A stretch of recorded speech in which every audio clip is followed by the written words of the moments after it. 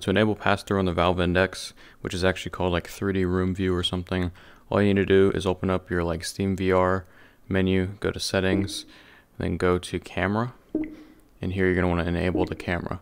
It's going to say that Steam VR must be restarted for the changes to take effect. So you're going to want to go ahead and restart Steam.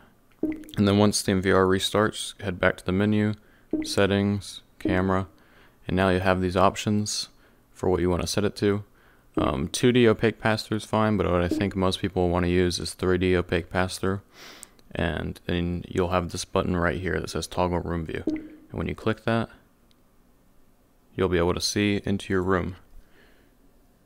So it has a little bit of artifacting. If you use the 2D version, it won't be like that. But the dimensions will be a little bit different. You know, it is 2D instead of 3D, so it'll be hard to tell how far away things are and how to interact with them.